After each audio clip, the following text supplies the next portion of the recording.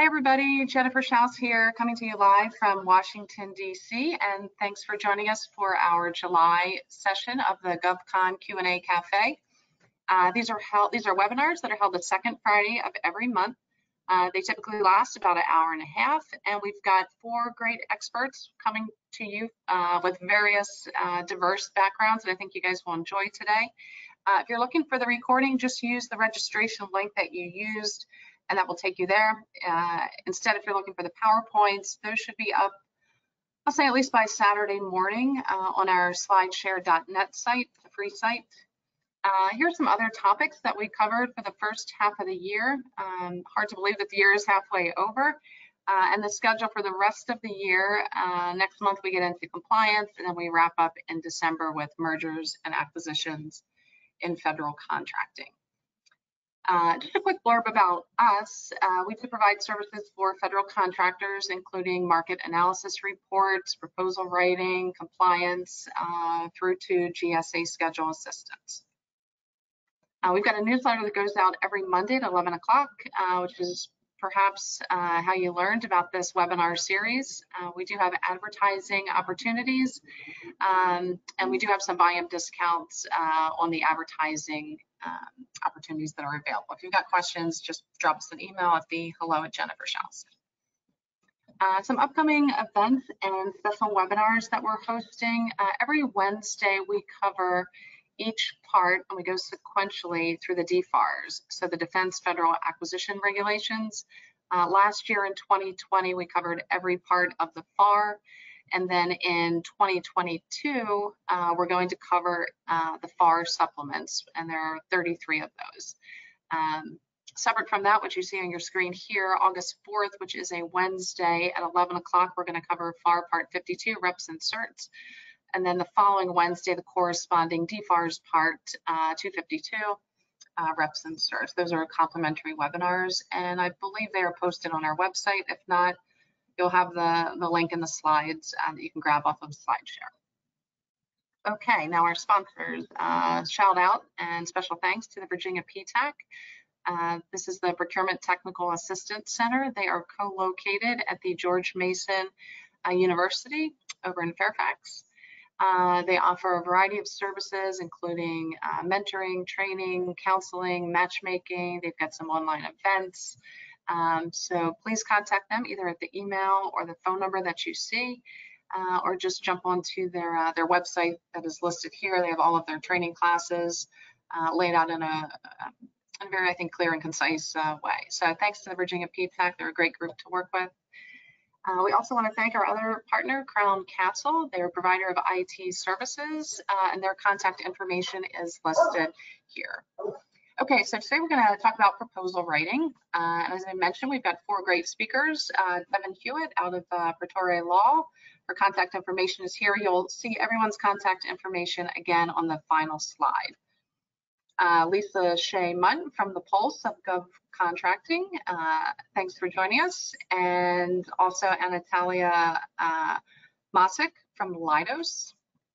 And last but not least, Don Shannon, uh, the contract coach. So thanks to you for uh, for taking the time to put together a great presentation that we're going to uh, dig into. So Devon, I think you're up first here. Great, thank you. Uh, Jennifer, I don't know if you know, uh, my slides aren't advancing. Are yours? Ah, they're not. Okay. Um, so you're still seeing the first slide? Yeah. Hmm. Um, let me see here. I don't know if that's the case with the audience. I mean, I, I have my slides up on my other computer, so I can, up, oh, there you go. Can you see them now? Okay, sorry for that. Let me see if I, okay. That's, that's my slide. Okay, sorry about that. That's right. Okay, well, I'm a lawyer, so obviously when we talk about proposal writing, I see it from a legal perspective. And um, proposal writing matters from a legal perspective when? Well, when there's a protest. Um, you may say, well, it doesn't matter uh, if I win the contract. Well, uh, it does matter because if you win the contract, um, you could be protested. And that's when the language is tested or your writing is tested. So Uh, the, the points I'm going to make here are from my perspective being involved in over 200 protests over a 30 year uh, career. And yes, I was a child prodigy in government contracts. Um, anyway, so let's get going. Uh, this ought to be obvious. Um, you're writing a proposal to a solicitation. So in order to write a proposal that's compliant and one that is going to be advantageous for the government and be evaluated well, you have to understand what the proposal wants and what the evaluation factors are seeking. So if there are any ambiguities or um, if the proposal is confusing, um, it should be obvious that you need to seek clarification. What I often find with clients, though, is they like to game the system, or they think they're gaming the system. They think they know what the agency wants really if they aren't saying it. And if they don't ask the question, maybe they'll get an advantage because the other bidders don't know. And if they ask the question, they'll reveal their competitive advantage. Or why ask the question because the government really is not going to answer it, or the other people are going to know it's them. And they're all this, you know, overthinking about it. Where there's this legal doctrine called patent versus latent ambiguity. And the doctrine is if something is obviously ambiguous and you don't ask about it, then the government can make whatever interpretation it wants out of it and you're stuck with it. If you asked, haven't asked about it, you're stuck with it. And it may surprise you that their interpretation is, in fact, not in your favor after all. Now, if it's something that is not really uncertain until after the evaluation, and then one looks back on it and says, oh, yeah, that wasn't really clear. Well, the GAO or a protest authority will say, well, we'll look at what's really reasonable in interpreting it. So the point is, if you don't ask the question, you're going to be stuck with it. Um, so ask the question. Um, it's only going to hurt you if you don't. And if the government doesn't ask it or doesn't answer it, ask it again. And if they don't ask it, answer it, ask it again.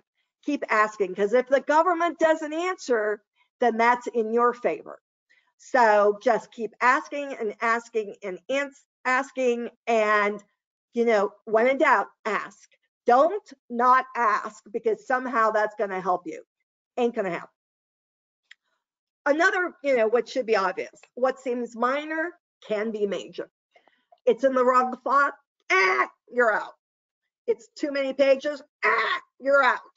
You, you got in, uh, caught in somebody's firewall. Ah, you're out.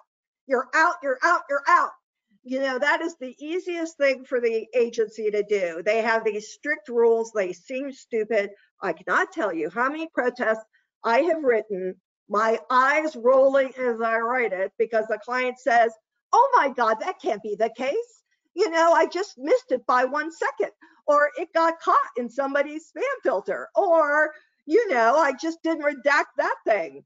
Um, they could, you know, just write the protest. That's ridiculous. No, no, no they don't care. That's the easiest thing. They mean what they say and they say what they mean. So, um, you know, go through your proposal with a fine tooth comb. They aren't going to waive those certain things. You ain't that special. So, little things, um, you, little things matter. All right, another thing that really comes up and sometimes isn't your fault, but you know, causes a lot of hand wringing is this concept of bait and switch. You propose key personnel, and then suddenly what happens? The people leave, um, they get hit by trucks. No, they don't really, but they could be hit by trucks. So you sort of have to think about it. Um, uh, and suddenly they're not available. Well, the unavailability of key personnel is always an important material requirement. So you can't just say, I don't know, I don't see it, don't tell me, I don't know that they don't, they're not there. Um, if you have actual knowledge that the person you've proposed as a key person is not going to be able to perform the duties, won't be there to perform the work, you have a duty to inform the agency. You have to tell the agency. And I'm sorry to say, yes, it's true that you, you inform them and they don't like it, you can be eliminated from the procurement. That sucks, totally sucks. Um, or they can conduct discussions and allow you to substitute another candidate. But remember, if they do that, they have to do that with everybody, and that's very tedious, particularly if they didn't um, didn't intend to do that in the first place. So, you know, that that you know, that's a house of cards. You know, your key person leaves, and that could ruin everything. Um, now, if you didn't, you know, if you don't know that person's left, and sometimes you get a commitment letter and you put it in, and suddenly the person, you know, has decided to run away and elope in Mexico, and he didn't tell you, that's fine. You know, how are you supposed to know? Um, you know, I mean, you're good. Uh, so what can you do if you have this feeling this guy's a little flaky and not so sure? You know, a lot of um, offerors um, often pay uh, retention bonuses. You know, wouldn't hurt to drop an extra Twinkie on the desk as you walk by, you know, every once in a while. It all helps. Um, but once you know, you're screwed. So, you know, keep that in mind. Nothing's going to save you then. All right, next slide. Ostensible subcontractor rule. Now, this applies for small businesses, but I can't tell you how, mu how much this trips people up. Um, I think people hear about this rule, but they don't really know what it means. If a small business is has a large business as a subcontractor, particularly if that business was uh, previously the incumbent, was small and then grew out and suddenly decided to find another small business to be the prime and now it's the sub.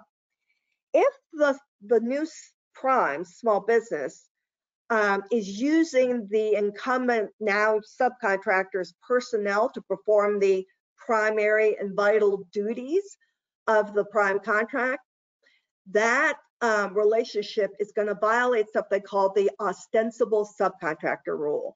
And the rule simply is, hey, you're not really doing this work. You're the subcontractor is using you as a front, and you're not really small small business because all that money is really going to the subcontractor, and therefore you're going to be out. This is the main um, basis for most of the small business size protests that we see. And it's tricky you know, um, there's a lot of flavors and variations of this. I've done so many protests on it. You know, um, what about hiring en masse of the, you know, incumbent personnel? If you say you're going to target the incumbents, is that the same thing as making a commitment to hire the incumbents? Does it matter that you only hire key personnel? Does it matter that you hire the key technical uh, personnel, but not the management personnel. I mean, there are ways around it. You know, the I mean, that's why I exist, right? I mean, that's my value add. But the problem is, a lot of people don't think about it at all. Um, and then, you know, uh, you end up with this proposal that neatly fits into the textbook, ooh, ostensible subcontractor, and then you're done. So that's, you know, that's something you need to think of ahead of time. And often um, the SBA will look as far back as the teaming agreement to see if this was a setup to begin with. You know, they're all very excited. You know, it's this big conspiracy to defraud. So uh, again, you need to be thinking ahead about how you're going to write the proposal, how you're going to present it, so you don't end up in this ostensible subcontractor situation. Next slide. Finally, again, it's something that may not be at the top of everybody, everybody's mind, but anytime you submit something to the government, you're making a statement, which is subject, by the way, to criminal prosecution. There is a criminal statute saying that if you make a false statement to the government, it is you are criminally liable to that false statement. Well, I mean, I don't think the government's going to come after you for criminal prosecution if you say you're going to provide them you know, with five gigabytes of something and oh my God, it's four. They're not too concerned about that. However, if you say you're going to provide a key person and you know that key person's not there and you provide this other key person, you know, okay, maybe they're not going to come after you for that.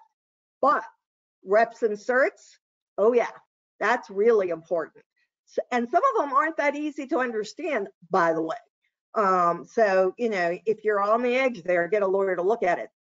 But more importantly, in the small business set aside context, those are very dangerous because a new law was passed not too long ago that says, we don't care what you think. We don't care if you're making an honest mistake because we think the moment you check that box, you're liable. No matter what you thought, no matter what you looked at, no matter who you talked to. If you're wrong, we can come after you. So that means, you know, with regard to what you say your size is, with regard to say what your status is, um, and keep in mind that, you know, deciding what size you are ain't that easy. You know, when do you count back? What do you count? At what time do you decide that you are small? Um, now, status isn't that hard. I mean, you're disabled or you're not, but if you're a HUBZone, that ain't so easy. Um, and then you've got at what time are you supposed to figure out if you're small at the time of the contract or at the time of the task order? Well, I could tell you, I could give you a whole webinar on that because that is not that easy either. I mean, thank God, otherwise I wouldn't be able to buy my designer shoes if this were all, you know, very difficult. And then new regulations of when you need to recertify. Um, if it turns out now you have submitted a proposal and then you are involved in a transaction, a merger or a sale of assets, et cetera, um, and that's within 100 days and before award, you have to recertify and tell the um, contracting officer that you know you've gone through this. And if you are other than small after that recertification you're not eligible for that award. So you know that's something you ought to think about. However if the government's been dragging its feet and the acquisition occurs after 180 days and there hasn't been award you're still entitled to it. But i tell you this is a new i mean you heard it here first that's this is a, a new rule. And um, i still get calls from people saying yeah i heard there's a new rule. So um, yeah, yeah yeah these things are changing all the time. So i hope you go back to your your uh, colleagues and say who knew? But i heard this from jennifer Schaus's webinar. Thanks. That's it. Thank you so much, Devon. That was too funny, uh, cracking up the whole time. And it is bringing us really nicely into this next section that we're going to be discussing, which is developing your proposal outlines and templates. So hi, everybody. My name is Lisa Shea Mundt. I'm the co-founder of the Pulse of GovCon. We're a boutique market intelligence firm that specializes in developing business for government contractors. I myself have 11 years of experience as proposal management, um, and have worked on over 200 individual proposal efforts with over, I believe, $10 billion in wins in that time. So I'm very familiar in the proposal space and absolutely love it. Now, with all of those credentials, something that I want to say is me and your other proposal managers, and especially your proposal writers, are not lawyers. You know, we might play one on TV when it comes to this acquisition process, but Devon, so many things that you said absolutely resonated with me because a lot of our role is to try to alleviate those protests, to protest proof the proposal in the ways that make sense from a proposal management's perspective. This is the reason why I, for one, never touch the reps and certs. And people have asked, and I've seen a lot of debate on that on LinkedIn, where people are like, the proposal manager was responsible for filling out the reps and certs. And we said, whoa, buddy, no, we are responsible for making sure you know you have to fill it out. But absolutely make sure that you get your contracts department involved um, or your lawyer, and especially executive management. So, a way that you can protest proof your proposal, if there is such a thing, is right in the very beginning. So I'm going to be talking a lot about just the logistics of developing outlines and templates and why they are important. A lot of people skip this step. And it's a shame because if you are to engage in a proposal effort and set up your outline and your templates in advance, then you can save yourself a lot of the headaches when you submit these proposals. Um, so outlines, what are they? There's a couple different types that you can look into. There's a summary outline, an annotated outline, and a compliance matrix, which is technically an outline. I, for the purposes of this presentation, am going to encourage every single person to, for every single proposal, put together an annotated outline writer's template before you start writing. And there's a lot of reasons for that. It's because it helps you organize the solicitation requirements. And that's not just the PWS requirements, it's not just the technical material, the capabilities that you have to write to. That's those other elements that Devon was talking about, like your font size and type. And so you can make sure that you're maintaining accurate page count.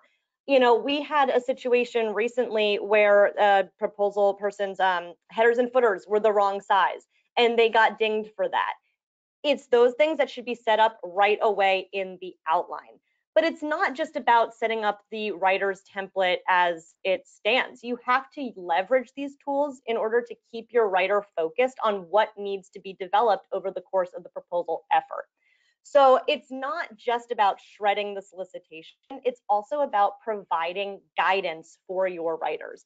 It's pulling out the L, the M, the C, any of the other requirements as laid out in the solicitation, but then it's going a step further and it's breaking out what understanding, approach, experience. Those are typical um, ways to outline, right? We've all seen them. It's not rocket science.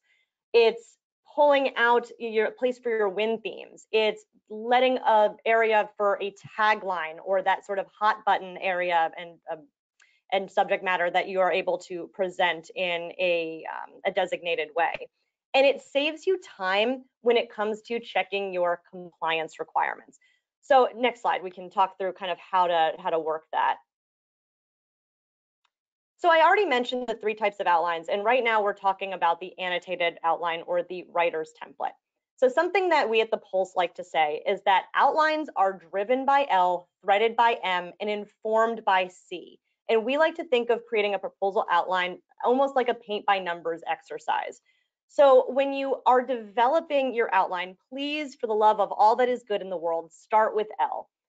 There is something so frustrating about somebody that wants to write a proposal thinking that they know what the government actually wants to see. Devon, you also said that and it very much resonated. How many times have we worked with someone that said, no, no, I know my customer and my customer loves me and they really want to see this. You can't be evaluated against something that you think somebody wants to see. And also, how well do any of us know anybody in our lives, let alone our customer? So make sure that you start with L. You'll see a lot of people, and people have argued with me about this. We'll start with C or the PWS or the SOW because they say this is the technical subject matter that's all well and good, but typically in M, the evaluation criteria, it will say that they are being evaluated based on your ability to follow instructions as laid out in L. So it seems a little counterintuitive because some people also say, well, if they're going to be evaluated by M, why wouldn't I just outline by M?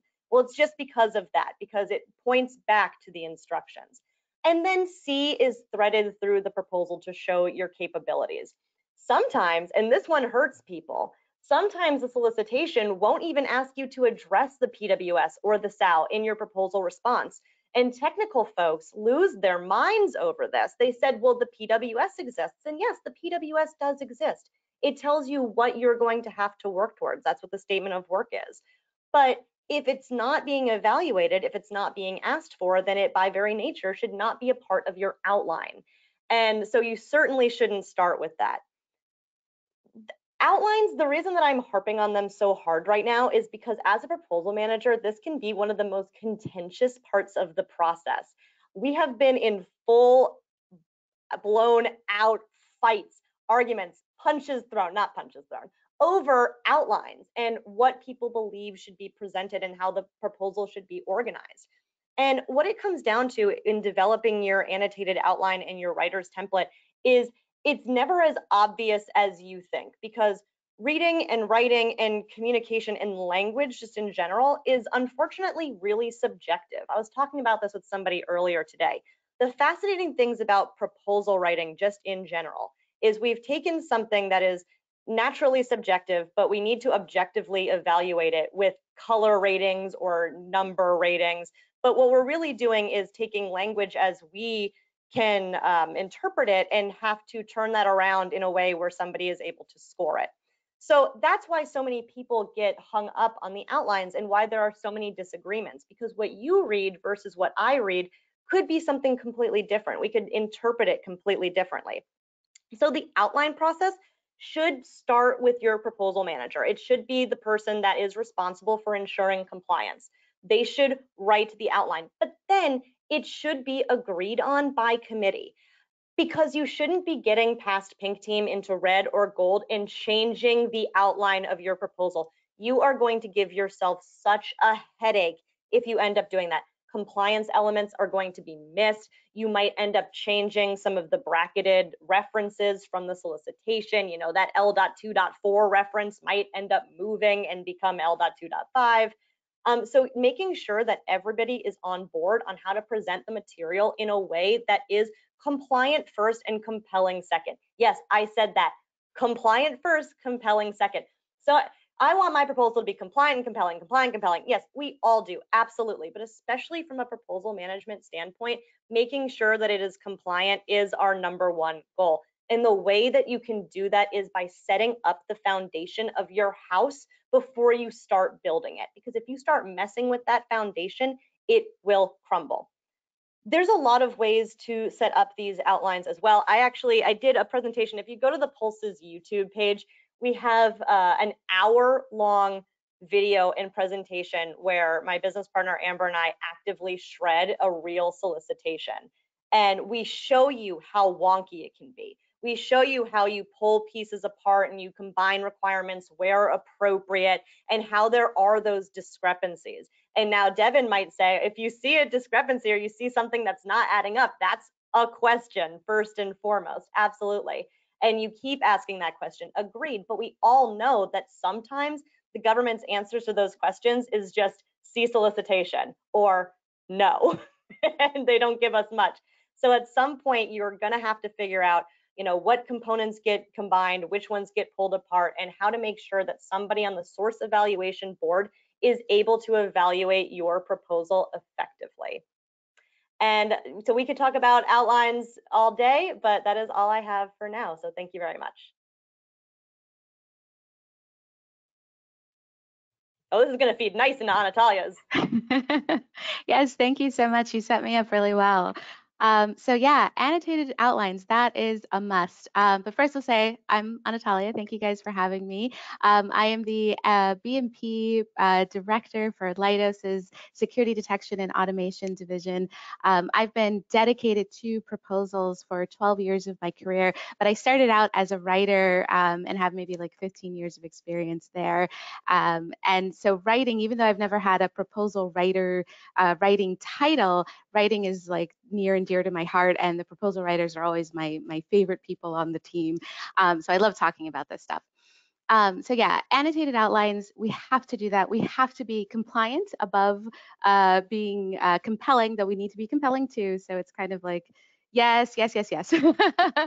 um, so I'm going to focus on compliance, right? So the best way to start, just so that we set a, a baseline for everybody, because um, we're saying a, a, lot of things, and so let's be tactical, right? That's where my ma- mind always goes. Is okay, like how do how do we actually do this, right? Um, let's not start from a blank page. So first thing is clear writing. We have to be clear. Um, being clear is being simple concise, have easy to read language because that's the easiest way to determine that we are compliant.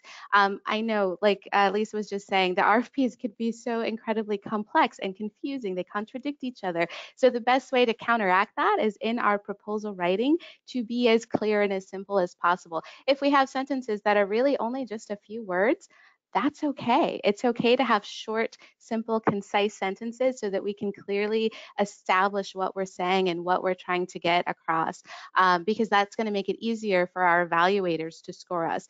Uh, basically, we don't want to do to the evaluator what they're doing to us, right? We want to make it simpler. Uh, compliant writing follows the instructions, like Lisa was saying about that section L that must be what we use to guide the outline and to guide our writing. We have to start with the instructions first because that ensures that our bid will be evaluated. Nothing else matters. We have to align to the instructions first. Um, then the evaluation criteria gets layered on top of that, and then the SAU, if that's included as well in the evaluation criteria. That just that just has to be the way that it goes. Um, so first instructions, then evaluation criteria, then the then the SAL or PWS or whatever it is that they're referring to. And then next is responsive writing. So again, we're kind of we're kind of saying a lot of the same things here. Um, so uh, so bear with us in that in that repetition. But uh, the responsive writing answers the question. So talking about you know we know our customer, we know that they're actually looking for this thing. Um, but that might may or may not be what's written in the solicitation, right? So we want to again answer the instructions, talk to the evaluation criteria, and then delve deeper then be responsive to whatever else it is that the the evaluators who actually may or may not be um, the people that our bd and sales team members have been talking to right the people evaluating the solicitation may not be the people who wrote the solicitation, may not be the customers that our BD team is talking to. So we have to consider all of those different aspects as we're writing our actual proposal. And so the, there's a lot, a lot to juggle there. So if we're if we're being clear in our language, simple, concise, we're focusing on the actual instructions first, then the evaluation criteria, then the SAL, and then being responsive to the answers, that those deeper answers, those deeper questions, um, then we'll win, right? Hopefully, maybe that's the goal. But we have to layer it. We have to layer it um, to get the fuller picture and to hopefully um, answer the fuller questions that the customer is looking for and to be as successful as we possibly can be. Next slide. All right, so getting started, we don't want to start from a blank page. Um, we want to start with that annotated outline, as we mentioned. Um, so whether you're the proposal manager or the writer, that annotated outline is going to be your best friend. I do recommend, um, so Lisa mentioned having the compliance matrix or the summary outline or the annotated outline. I don't, I don't think it's an either or. I think you start with a compliance matrix and that feeds into and becomes your annotated outline. Um, but every proposal manager is a little different. And then depending on the complexity of the opportunity, the amount of time that you have. Um, someone said to me once um, during an interview, uh, yeah, we have quick turns. They're usually like four weeks. And I was like, four weeks is a luxury. so depending on the amount of time you have, you might, you know, fluctuate on, on how you do it. But for me, typically you do the compliance matrix first and that feeds into your outline um, and becomes your annotated outline. And that's what's going to be sort of uh, where you start from so that you don't have a blank page. But at the same time, you're not just regurgitating the solicitation language, right? Because then we're not really being uh, responsive. We're just giving them back what they've stated and we're not building out the who, what, when, why, where, how which is how we really show our value and how we're going to win the work.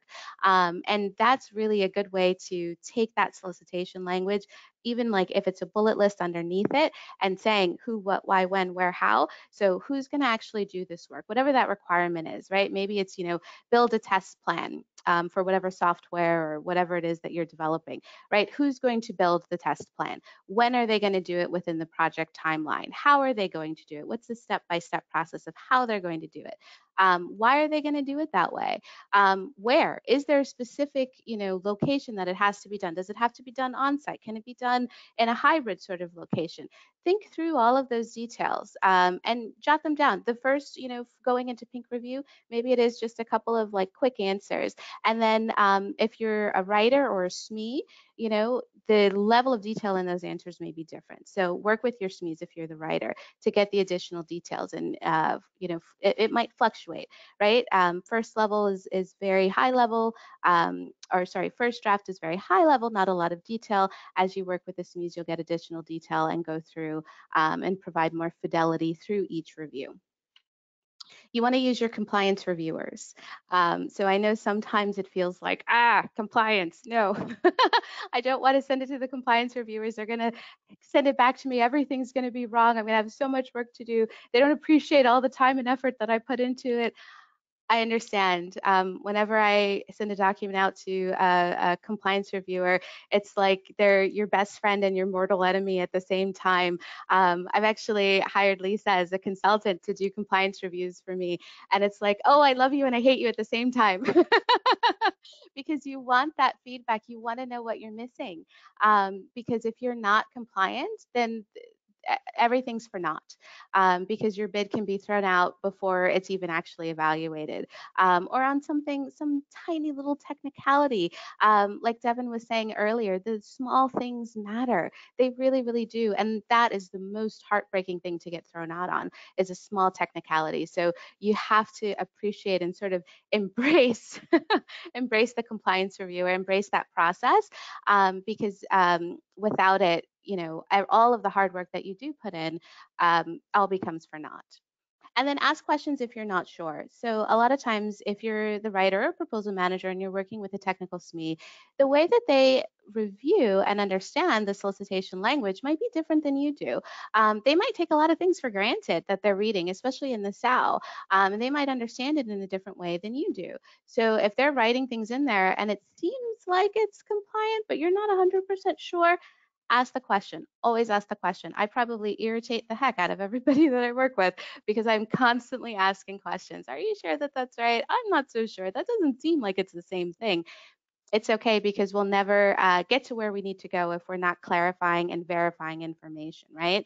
Um, so make sure that everybody's on the same page and we all have the same information in front of us um, so that it is fully compliant and we're all clear that we are fully compliant. Um, because the worst thing that could happen is they think that they have it the sme thinks that they have it um, completely compliant and really it's it's a misunderstanding between the language in the solicitation and what the sme is thinking of and there you have it our bids thrown out because we accidentally missed something that we thought we had. All right next slide. Reviews. Review review review So always review your own content first when you're a writer or even the proposal manager. Um, when I was a proposal manager, I would never send anything out for a content uh, pink, red, gold review before reviewing it myself first. And yes, that does take a lot of time, but it was really critical for me to go through all of the content first and make sure um, that I had an understanding of what we were putting out, especially in front of our executive reviewers um, before before sending it out. Um, and if you're a writer too, before sending it to the proposal managers or any of the other team members, review it yourself first for compliance to make sure that to your level of understanding, it's compliant. Um, and again, embrace the compliance reviews. Try to have more than one compliance review done. Again, I know timelines can be really difficult um, and especially if it's uh, complex or a very strategic opportunity for your company, it's maybe very high value um, or any other factors are there, consider having more than one compliance reviewer. I've done that too, where maybe we'll have um, one person on our internal team, or we'll hire multiple uh, consultants to do compliance reviews as well, um, especially if it's like a high value, uh, like some of these GWACs that are coming out. Um, I will hire multiple compliance reviewers to come in and do the compliance reviews just to make sure we're not missing anything because some of them can be very, very complicated. And again, missing one tiny little thing could be very, very critical and then use the color review process to make sure that you understand the end goal um, or and understand the end goal which is basically we're all working together um, the whole team is there to make sure that we're all putting together the content. It's not reliant on one writer or one proposal manager. There are a number of people, SMEs, um, contracts people, pricing people, everybody's working together to pull together the content, the proposal response, um, and to make sure that we're getting a compliant and compelling and winning bid out the door. So we have to use the processes that are in place. And if there aren't processes in place, then, you know, maybe advocate for that within within your uh, company to help ensure that we can get there um, to make those to make those proposal processes a little bit better for you. Um, and if they're not happening, ask for earlier executive reviews and feedbacks, um, especially if you find that they're coming in later, because that's something that will also help ensure that you're getting the compliance and the um, the feedback that you need earlier in the process. Because again, that's the only way that you're going to get the the content to where it needs to be, so that you can have that compliant, compelling response um, that gets submitted in a timely manner and is going to win win your company the bid that you need. And I think that is my last slide. So thank you guys for your time. Well, thanks. Uh, my name is Don Shannon. I run a small business called The Contract Coach. Uh, I do uh, consulting work for proposals and government contracts. Uh, self-employed. Uh, I have had the, my own business now for the last 13 years. Uh, I've been doing proposals for over 30 years. Uh, started with Martin Marietta, Boeing, uh, and some of the larger defense contractors before uh, going into business for myself. My average or typical proposal is something on the order of a three-month effort, uh, and the dollar value on the contracts that I'm typically associated with are over 100 million. Um, I'm going to approach this from the standpoint of the contracting officer. Um, I am a, a CFCM, that's a certified federal contracts manager, and a CPCM, certified professional contracts manager. And I have worked uh, as uh, a government 1102, uh, which is contracting officer. So I'm going to put on the contracting officer's hat and come at this from their perspective, although most of my experience is on the writing and proposal management side. But I'll give you kind of a, a counter view. So the first thing I'm going to tell you is make your proposal easy for me to evaluate. If I have to go on an Easter egg hunt to find out if you know what color chip to paint the piece of equipment that you're going to provide me, I'm not going to be a happy camper. So you you need to to make it easy for me. So how do you do that? Well, first off, you align your proposal and your so uh, your solution to the solicitation. I know so many people uh, on the marketing side who want to take an off-the-shelf solution and rewrap it in new paper, put a little lipstick on it, and sell it to you uh, and say that that meets your, your requirements.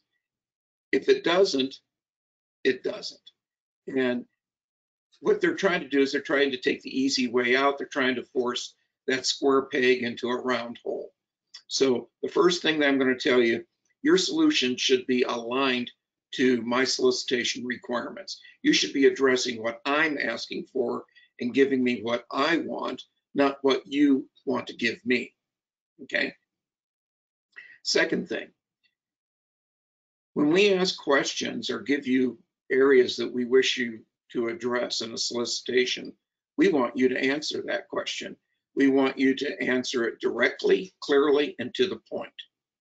I'm going to skip a bullet here for a second, and I'm going to tell you, don't filibuster.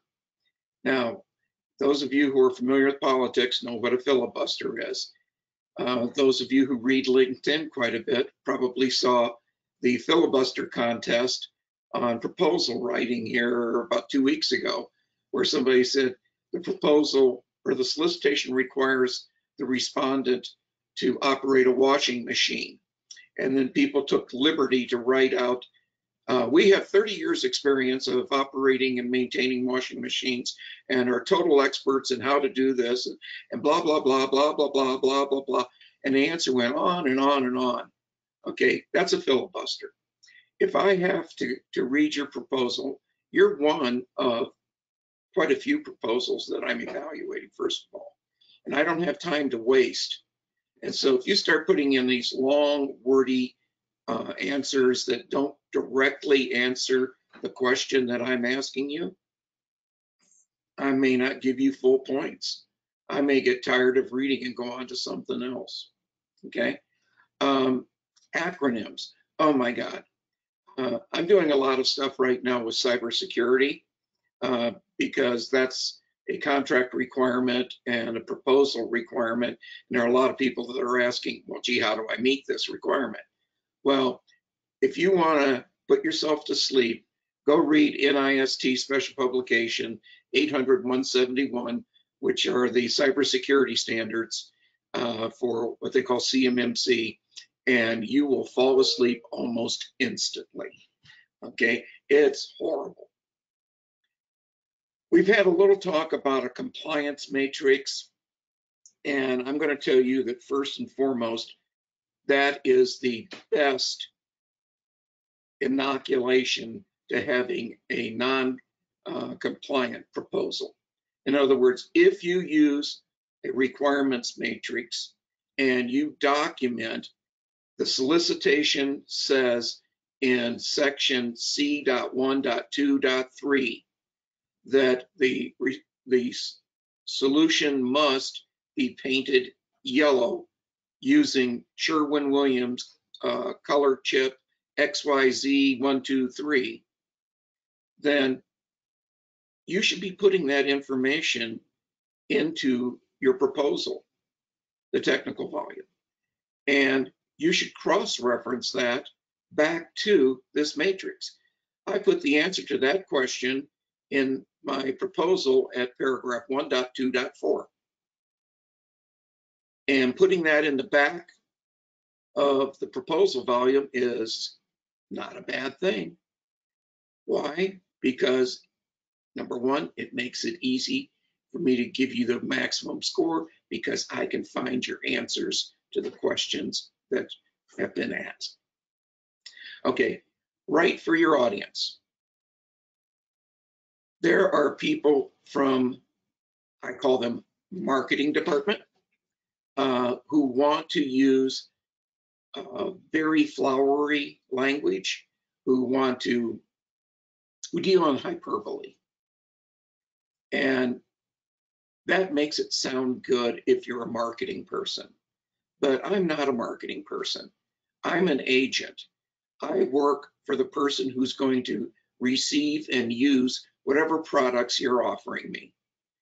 I have to determine whether or not your offered solution meets those requirements. I don't care about uh, cutting edge technology. I don't care about uh, blockchain. What I care about is have you directly answered my requirement and are you giving me what I asked for? Uh, next slide, please. Okay, this has been talked about by everybody. and I'm going to talk about it again. Submit a compliant proposal. Why? Okay, Devon, it sometimes winning is just not losing. In other words, I can't give you a winning proposal each and every time. I can give you a very competitive proposal. I can give you the best product I can give you, but I can't guarantee that it's going to win. But I can guarantee you that if I don't give you a compliant proposal, it's going to lose. Okay, so sometimes winning means not losing. I mean, if there's only three offers and two of those offers haven't complied with all of the requirements in the solicitation and you have, now, now we've got the field down, haven't we? Okay, so L and M are going to tell you, the L is going to tell you the administrative requirements for your proposal. And if I tell you that it's a 20 page limit, then I stop reading at page 20. I do not go to page 21. And if you, whatever score I've given you at page 20 is the score you're going to get. End of story. Okay. Uh, make sure you've included all the attachments and additional information that's required by the solicitation. This is especially true. You've all been talking about the technical proposal. I'm going to talk about the cost proposal because I also do cost and pricing. And if they want you to follow FAR 15 uh, Table 2 and submit in contractor format, but they want you to basically provide all the information that's in the FAR at that location, and you don't do it, then you're not compliant. You, and that'll that'll send you home, folks. Uh, don't send me on an Easter egg hunt looking for information. Uh, use paragraph headings and titles to identify key information. Um, Lisa talked about an outline, okay? And so typically the proposals I've worked on, we've used a numbering strategy of the A dot one dot one or one dot one dot one or or something similar to that. But that should be in your outline or in your template. That should be a heading one, a heading two, a heading three uh, kind of format. And you should have, following that, a brief descriptor of what's in that section. I should be able to go to the table of contents, and if I'm looking for uh, logistics uh, deliverable items, and I'm concerned about um, the parts provisioning data, I should be able to go to that table of contents and find the section that deals with parts provisioning data and go right to it. Um, don't make me look, okay? Make it self-explanatory. Give me, you know, guideposts and a roadmap. Um, the easier you make it for me, the to find the information, the easier it is for me to check off the stuff on my evaluation check sheet and find, you know, give you a good score. So uh, make it easy. Okay, submit in a timely manner. Uh, as Devon said, if you're late, you're done, you're going home. so don't be late, not one second. Uh, be early. Early is good. Uh, next slide, please. Details, details, details. Okay, I think this kind of goes to Lisa's point about doing the reviews and uh, and Natalia's point about doing reviews. Make sure you do a thorough quality check prior to submittal. Um, first of all, you want to do an editorial review of it. Um, someone needs to go through there, through the entire document, look for consistent voice, uh, make sure that it sounds like it was written by one person instead of uh, a group of people. Um, make sure that the grammar and spelling is correct. You don't want to, to misspell uh, the, um, the department's name. You don't want to include or, or uh, put the wrong name for the client, uh, things like that.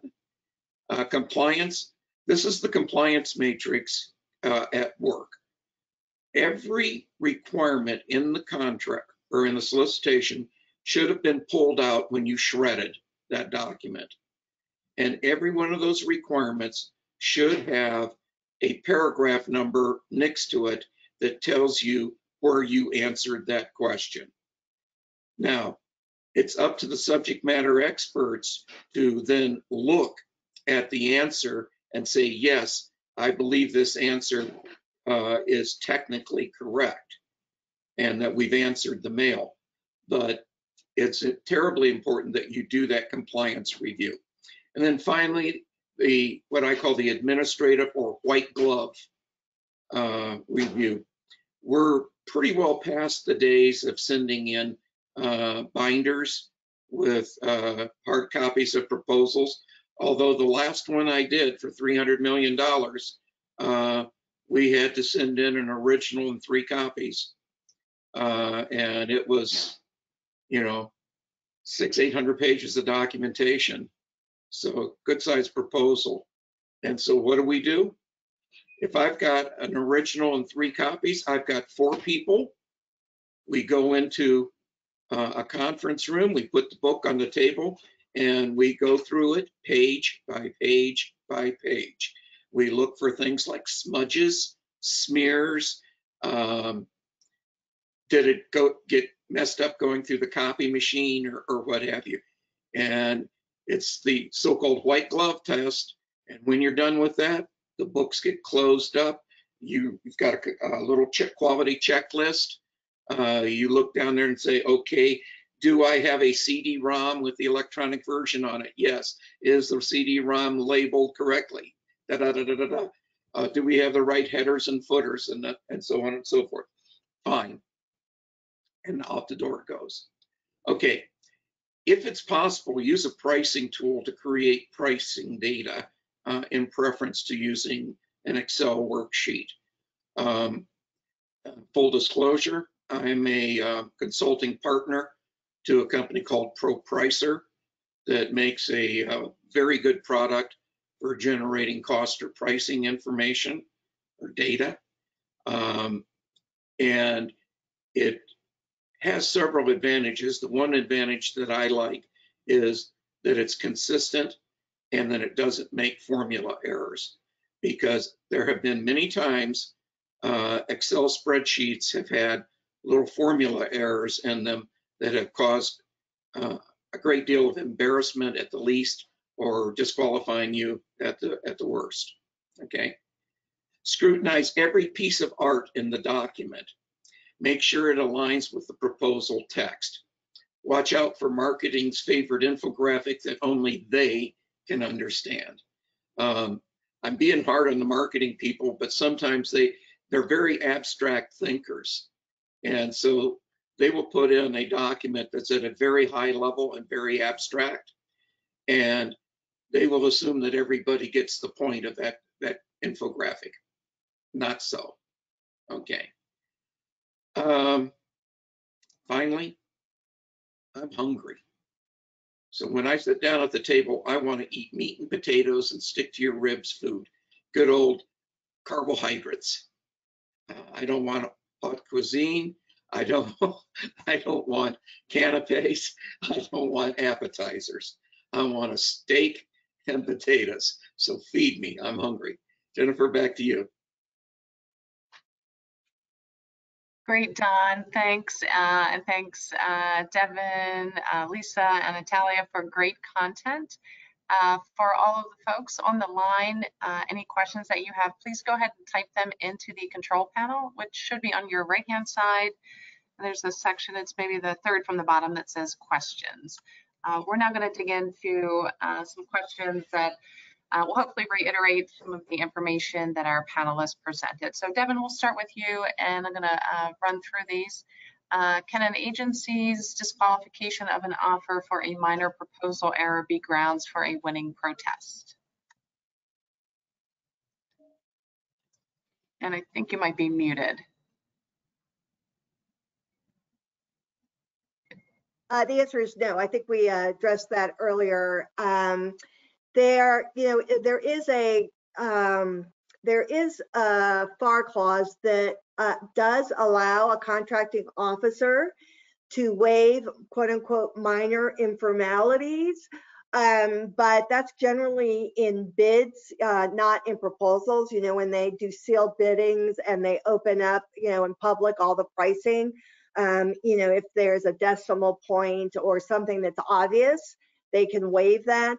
But in negotiated procurements, no. We, I mean, we've said this over and over. You know, if the font's wrong, if um, the page count's wrong. Um, when somebody was talking earlier, I had a like an LSD flashback of a protest I did, and and I kid you not, that about whether or not a um, a proposal was with, within the page limit, and I can't remember what side I was on, but all I know is that we ended up printing this proposal on one computer, but we had to send it to another computer at another site because it was printing a different page length there.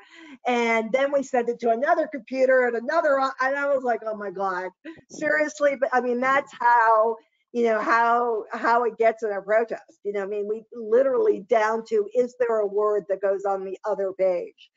So uh, no, no. The answer is no. Uh, if you're if that that word's on the other page, they ain't gonna read it. Gotcha. Great. Go ahead, John. Uh, let me give you the CEO's perspective on that. Um, we have something that's called clarification, and I can use clarification to resolve questions or minor ambiguities. So I may not reject your proposal if, there's a minor informality or, or, or something wrong in it. Uh, I may I may seek clarification from you on that. But once the contracting officer has made the decision to reject the proposal, and that's where Devon comes in with the protest, the contracting officer has kind of thrown down the gauntlet and they're going to stand by that decision. Uh, but up until the point where they make that decision, there is some wiggle room for discussion or possibly uh, resolving that minor informality. But once the die is cast, the die is cast. And clarification simply means if you, you know, if you have a decimal point that may not be in the right place, the contracting officer can say, did you mean a hundred thousand? You didn't really mean a million, did you? That's a clarification. But if the contracting officer calls and says, you've got a paragraph that went the other page, and the offerer says, well, can I shrink it to one page and give you a new page? They can't do that. Anytime you substitute something in your proposal, it's no longer clarifications. It now becomes discussions, and it means the contracting officer had to open it up to all the bidders. Great. Okay. Thank you. And we'll move to our next question. Uh, over to you, Lisa, for this one. Uh, how can I get my technical uh, SMEs to write our proposals? I'm going to get a lot of hate from this one, so bear with me. The answer in short is that you don't, you shouldn't, and you can't. Okay, wait, hold on. I know, hold on. Whew. Not in the way that you want them to. That's what I'm getting at. What I mean is there's so many people that say, I want to get my SMEs to write the proposal.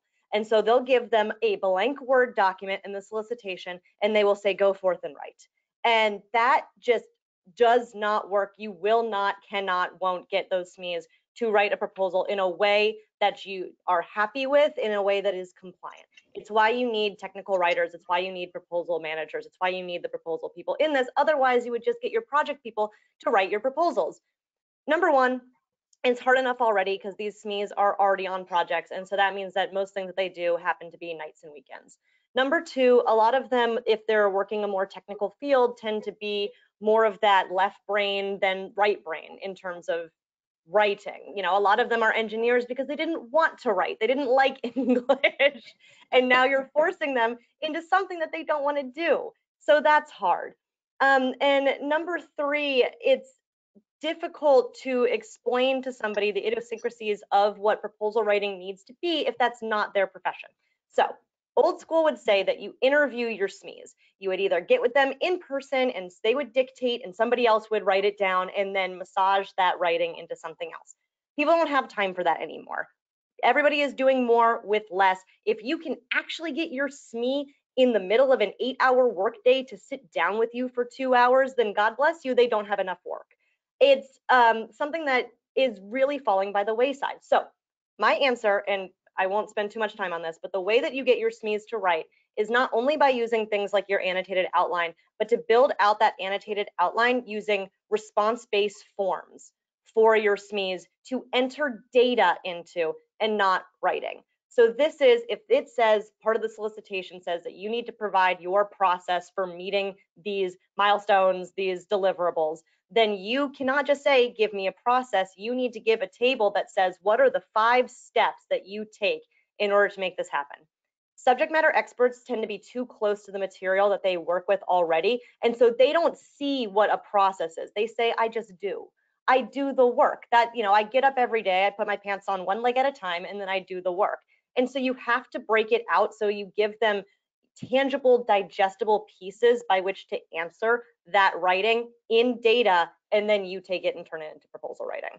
So nobody hurt me. I'm all about uh, flexibility. I think sometimes we need different responses for different proposals, different teams.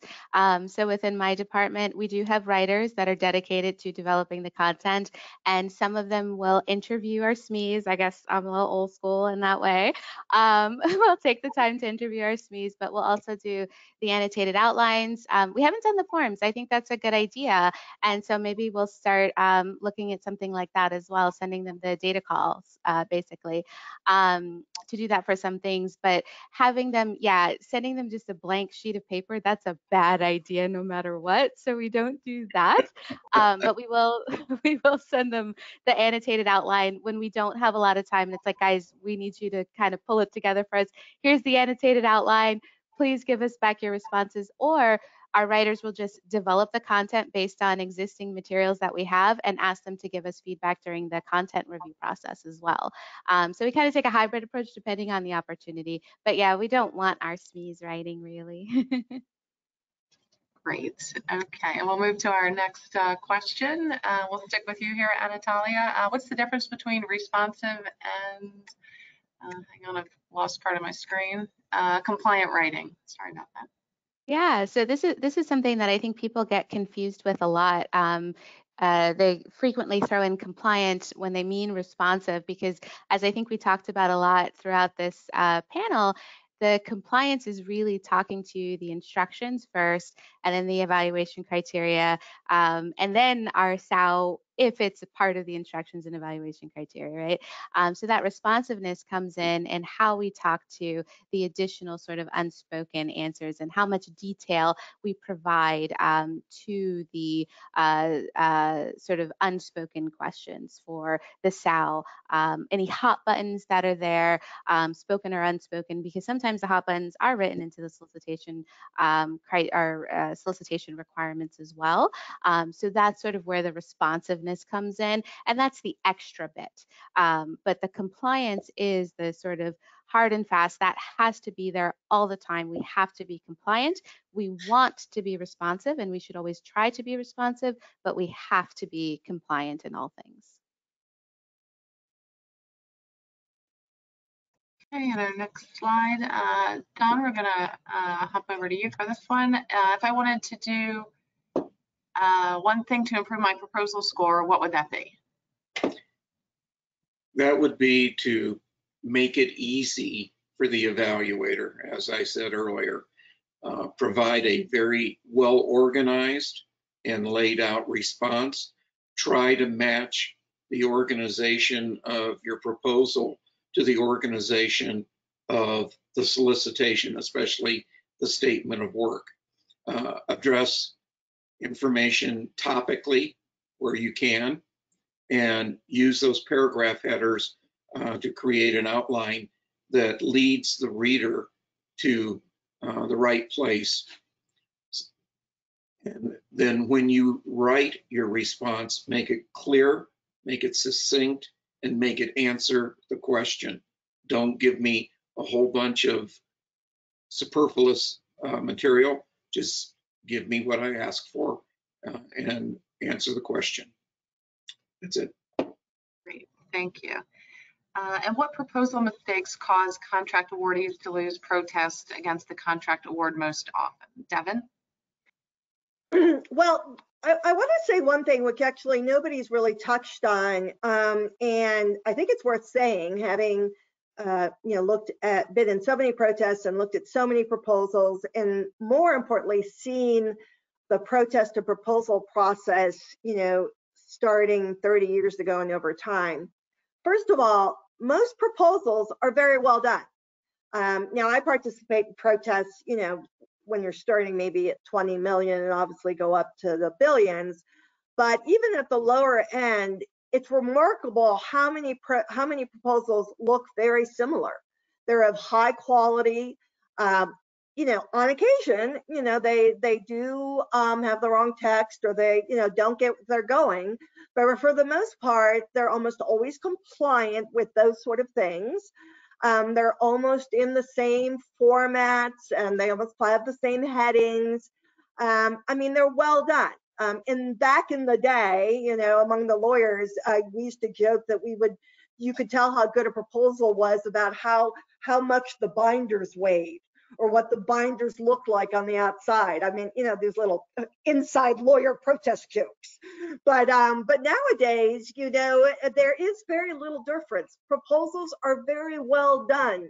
And there is uh, uniformity in how I think companies now approach them, how they write them.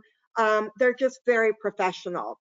Uh, and, you know, I, I, don't know if this is good news or bad news, but um, there often are little things that, um, very little that, that offerors who know what they're doing, and like I said, most companies nowadays do, to really improve their proposals. I mean, everybody includes the compliance matrix. Everybody includes the abbreviations. Most people don't parrot. I mean, people know what they're doing. Come on um, for the most part, I'm not, you know, proposals aren't thrown out because of that.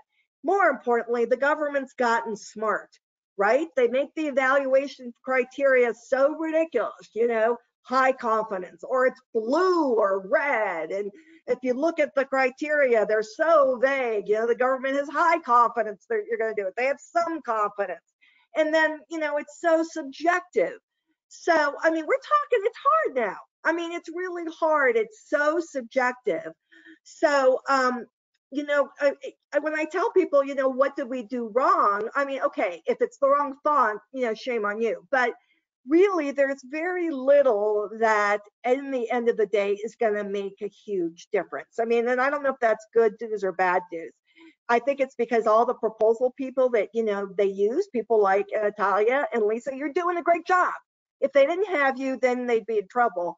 But unfortunately, you know, Linus, your competitors are doing the same thing. GDIT and Northrop Grumman, they're hiring the same people. So when you go in, you know, price, you know, obviously is a big issue. And sometimes it's the people you propose, and we all know how expensive those people are, and there aren't many of them. And so I'm not telling anybody anything new, but what I'm saying is, um, you know, it's tough out there. One thing I have noticed, and it's very probably the most interesting thing to me that I've noticed that other people have said, um, is this, and that is that um, that the proposal people here don't count on the SMEs to write their proposals. And I will tell you that ain't the case in all these protests because I, I, I cannot tell you this is the thing that drives me the most crazy when I'm in a protest. Because yes, I can say it's subjective and yes, you can't do very much, but suddenly there's a protest, right? And the awardee's telling me, oh, there's nothing to it, there's nothing to it. I'm like, great, here we go. I'm gonna get paid. I'm gonna go off with my pina colada. This will be so easy. And, and I'm not talking like it's a small company from, you know, doesn't know what we're doing. I'm talking it's a big company, they know what they're doing. So suddenly I'm writing away, and, you know, there's some issue, and I call the technical people. You know, I'm not technical. I can barely operate my phone. But um, so I get on the phone with them, and I'm like, oh, gobbledygook this and gobbledygook that. You've got this. You know, explain to me how this goes. And of course, the in-house lawyer is no help. He has no idea either. So finally he goes, oh, let me get my SMEs on the line. And so the SMEs are on the line and they're trying to explain things. And I'm like, well, what about this? And what about that arrow? And you know, I'm I don't know what I'm doing, but I'm just reading what you say. And, and every single time, every single time, they don't have an idea. They have no idea what they're saying. I'm asking them simple questions like, what does that dot mean? Well, uh, and they say something, I'm like, but that's not where the dot is going you know and and they're like well that was somebody else's response i go well did that person look at this graphic and suddenly you know what seemed to be clear to everybody and and who they assured me they were compliant i'm like but that dot is not going where you said it's going. And they're like well that's not i go they're going to look at that dot. That dot is going to make the difference. Now I'm, I'm exaggerating but it makes me crazy. It makes me crazy where somebody has not asked or looked at what the SME has said.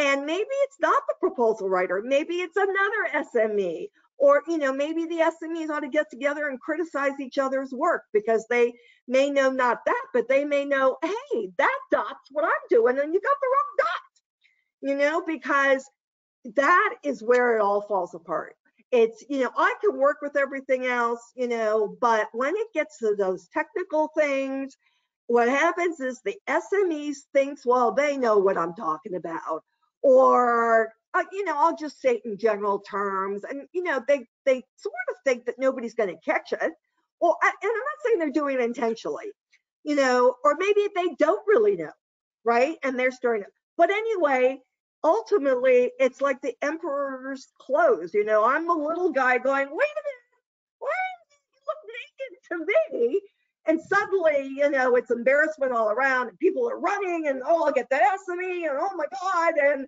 you know meanwhile i'm eating donuts you know i'm like oh my god oh my god oh my god you know 10 pounds later you know we lose the protest so there you go Okay, good stuff. Thank you.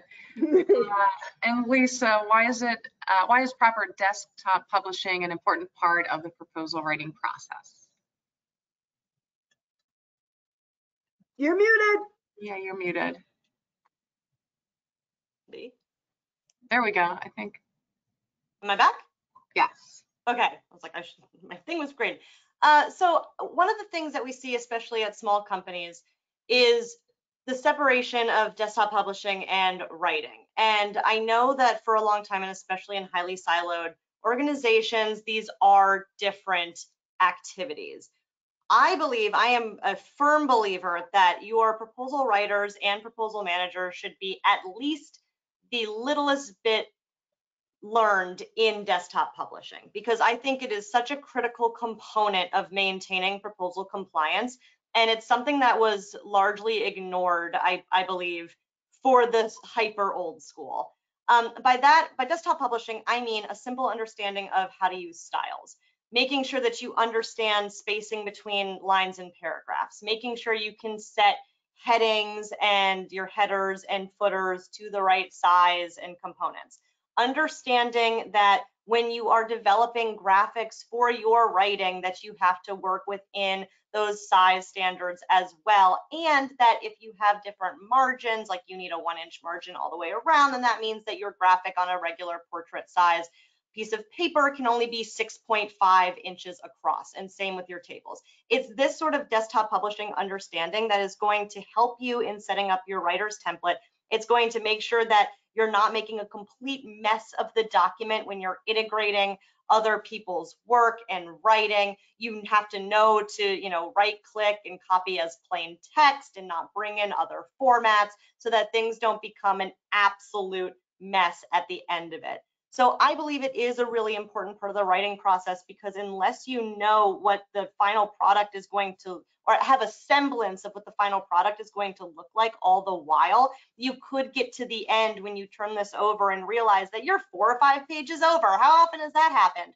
Or that you're non-compliant in some of these other elements and it pushes the page count. Um, or different sections, you know, there's some requirements of a writer to maintain different page allocations within sections. So understanding what a section header is versus a, you know, a page break. Um, these are all really important elements to writing. So if you have writers, and, and a lot of times you'll also depend on your proposal manager to have this understanding when they're doing a combination of the, um, the, the documents or the people's inputs or when adjudicating comments for a color team review but it makes the whole process go a heck of a lot more smoothly if your writers have you know this innate understanding of what it means to set up a document and the design and why it's important. It will also help you in your review process. There are so many wasted review remarks and comments in color teams where it's like, well, I can't read this. It's like, all right, you can't read this. It's an online submission. It's a document. You can magnify it. It needs to be eight point because we're page constrained. Move on. That should not have been a comment of yours. Um, and and all of that, or people say, oh, I don't like the optics of this, or I don't understand why the graphic um, came before it was introduced. And it's because all of a sudden you were up against a section break and you needed to, otherwise everything would move. You know what it's like to move an image in Word. You kind of move it a slight thing and then everything goes like that and everything bounces and jumps and moves. And so it's just become with the aesthetics being more and more important in proposals so that people like Devon will see it and be like, look how elevated everyone's proposals are. You know, it's not just a wall of text. There's a lot of things like hot boxes, call out boxes, tables, and graphics. And none of them are, you know, it's like florals in the spring, right? Uh, groundbreaking. Nobody's saying these are new things. These are expected components of proposal writing. And so you should have an understanding of how they impact your document. Super, thanks. So we've got about 12 minutes left. We still have uh, two quick questions to get through here, hopefully with some short answers that we can then jump over to the audience questions. So uh, Anatolia, over to you for a uh, last question to you for how can a poorly written proposal impact compliance? Yes, um, so I'll keep it really short. I think um, I talked to this and even Don a little bit as we were saying, if it's hard to understand what is written in your proposal, if it's poorly written, if the English is very complex um, and difficult to understand, they won't be able to evaluate it clearly and so you won't get the points you won't get the score that you need even if in fact you have written the response you have written to the requirements. It's hard to find you won't get the points so you'll be deemed non-compliant and you'll uh, risk losing the bid.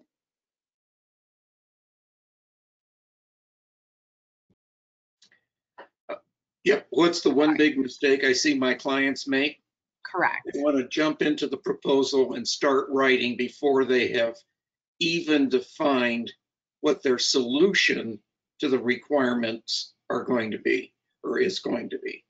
Um, They want to recycle information from the last six proposals, cobble it together, put a Band-Aid on it, and throw it across the transom. So that, that's a big no-no. Uh, Lisa, uh, I just have to make one comment to you. You haven't lived till you've got an 800-page document, and someone comes in on the weekend and does a copy paste from an old proposal uh, of about a four or five page section into the middle of your document and clobbers every one of your styles and formats. Great. fun. Okay. So now we're, we're going to take these uh, quick audience questions. Uh, First one should be a quick answer here. Uh, Where do we find the outline? Where do, what? Where do we find it? Right. Where do we find it? We make it, we build it. It's our, it's our brains. Correct. Okay. next- sometimes section L will have a recommended outline, but if they don't, uh, you can follow the general layout of the statement of work uh, as a guide. Yep, typically the proposal manager and or coordinator will work together to come up with what the outline needs to be. And they should be working with your sales and BD team or your capture manager to determine the flow and, and what the outline needs to look like. Great. Uh, And any advice on unsolicited proposal development, especially if you are familiar with the agency and the sort of solutions they are looking for? I would always start with them. Oh, yeah, keep it short. Uh, I would say, first things first about unsolicited proposals, go read FAR Part 35. Okay, because that's pretty much the, the answer to your question. Unsolicited proposals, everyone seems to think that they're, you know, uh, a way to get, get your foot in the door and to sell something. By and large, that's not the case. Um, So FAR Part 35 has a pretty good comprehensive answer. Right, and we covered uh, all parts of the FAR in 2020. So if you go to our website, navigate to the FAR tab, and then they're listed there chronologically. Just uh, scroll down and click on the recording. It's complimentary. Uh, Next question says, how do you handle answers that are required in different areas?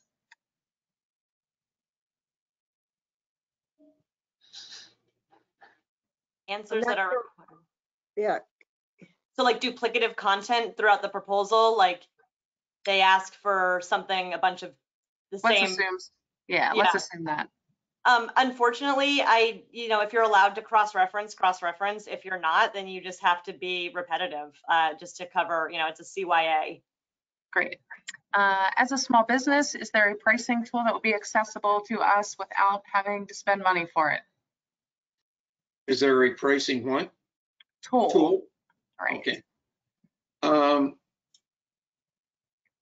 I would suggest that they uh, get my email address off of uh, this slide and contact me directly and I'll, I'll provide them with a direct answer. Great. It depends on what you mean by tool too. So, I mean, if you're talking about something that's gonna spit out the pricing for you, then no, but there's other resources like GSA Calc has things like contract awarded labor categories and hours, and there, there's resources out there that you can leverage for free. You know, when we talk about tools, uh, Lisa, we're, we're typically talking about um, those software uh, products that you use to calculate the overall cost and pricing data. Right, okay, so, thanks, we're gonna keep moving on here. What is your advice on simplifying a technical proposal when the SME writes the technical approach that is too technical and not easy for the evaluators to understand? There's a principle called the Flesch Kincaid test where it, they've studied that proposals should be written at a fifth grade reading level, and that's not to disparage anybody that reads it. So that's been really helpful on some SMEs to set it up, you know, act like you're explaining this to a fifth grader. Sometimes just that psychologically can help them to simplify. Great. Uh, I just started an entry-level proposal support position. What are some of the best ways I can be an asset to my team of colleagues who nearly all have 20-plus years of experience? Pick up the low hanging fruit, offer to Yeah, do things like acronym lists, or if you don't have, you know, a tool that automatically does that, um, do the compliance matrix, the, the sort of administrative tasks are extremely helpful. Great. Okay, if an organization has no formal proposal writing process, what are resources we can use to see examples of the steps in a proposal writing process to get them started with the, uh, with designing their own? that you're looking at them, right? Uh, there's so many people out there. There's so many consultancies. There are so many people that put out resources. You know, I'm not going to pump my own sauce, but everybody's got something out there. LinkedIn's a great place to look. People put out those kind of processes all the time. Exactly. Uh, are there any online resources you can recommend to proposal writing beginners? Yes. I think they're the same. Right. And, and so you, have you even talked about APMP at all? I haven't. Yeah, I was like, ah, should I should I bring it up? Um, APMP is the Association of Proposal Management Professionals, so I highly recommend um, checking that out, especially if you're new to proposal management. Um, they have the Bach Book of Knowledge, which has a ton of uh, templates and guides and resources. When I was starting out in proposal management, that was like my go-to. I actually still have a binder in my office somewhere with like printed copies of like tons of things um, just on you know guidance of how to do proposals right? Um, so i highly recommend you know checking out their website uh, become a member if, if it suits you. Um, i also have a couple of articles on on linkedin as well that talk about sort of my journey and you know tools that i've used and tricks and you know things that i would recommend um, to get started communication styles things like that to help sort of uh, advance in your career in proposal management and, and how to do the things um, and of course, you know, reach out to myself and everybody else on the panel as well and, and network um, is really the best best thing to do. Exactly. Uh, and yeah, I was going to say we also have some webinars, I think at least 50 plus out there on proposal writing, all complimentary. Um, so any last uh, words of wisdom, advice? I know, Anatolia, we may have an incorrect phone number listed for you up here. I apologize for that. Uh, so if uh, anyone on the line has any additional questions or thoughts for any of the panelists, you can contact them all here at, I probably the safest bet is probably email, uh, since we know those are correct. Um, next month, we are covering uh, compliance. Uh, September, I think then is oral proposals. October is set asides. Uh, November is pricing. December is mergers and acquisitions.